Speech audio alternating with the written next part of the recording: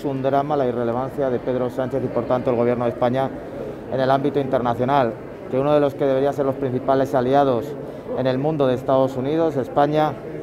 le concedan 24 segundos después de seis meses en un pasillo, a mí me parece que al margen de las chantas que podamos hacer,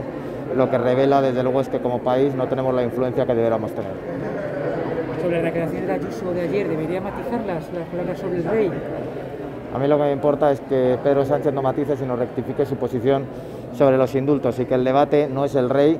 que no va a ser cómplice de nada, sino que el debate es Pedro Sánchez y por qué quiere indultar a los presos. Muchas gracias.